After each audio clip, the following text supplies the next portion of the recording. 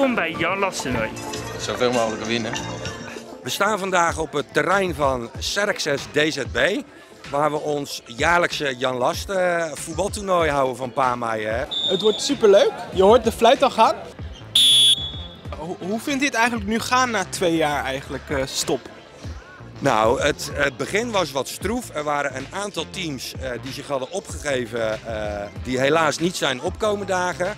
Maar het, ik moet wel zeggen dat het, grote deel van de teams er wel zijn. En, eh, nou ja, en er genoeg voetbalplezier is om een mooi toernooi vandaag neer te zetten. Wat vind je van het Jan Last toernooi? Ja, leuk. Superleuk. Eh, ja, wel leuk. Eh, ik voetbal normaal gesproken nooit, dus het is de eerste keer sinds tijd dat ik weer voetbal. Dus ik vind het heel leuk om mee te doen. Heel blij dat ik hier bij het lasttoernooi ben. Want eh, ja, kijk, je ziet wel heel veel bekenden. Iedereen komt een hand geven, zij komt een, komt een knuffel geven. En wij zijn heel blij met elkaar, want ze hebben elkaar zo lang niet gezien.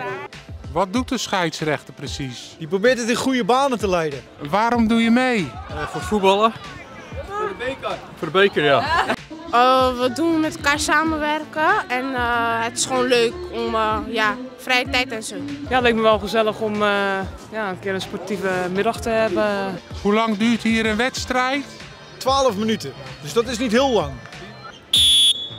Heb je alle wedstrijd gewonnen? Deze wel, ja. Ja, ik heb eentje maar gescoord. We hebben de eerste wedstrijd gewonnen. Tot, tot nu toe vind ik het leuk. Ik vind het leuk om erbij te zijn. Ik, het is voor mij de eerste keer. Doe je elk jaar mee? Uh, twee keer eerder meegedaan. Nou, ik vind ondanks het slechte weer, slecht, het is wat minder, heel mooi. De opkomst van de mensen die zijn gekomen. Uh, die genieten van uh, bewegen, van lol met elkaar maken. En ook een beetje wedstrijdgeest.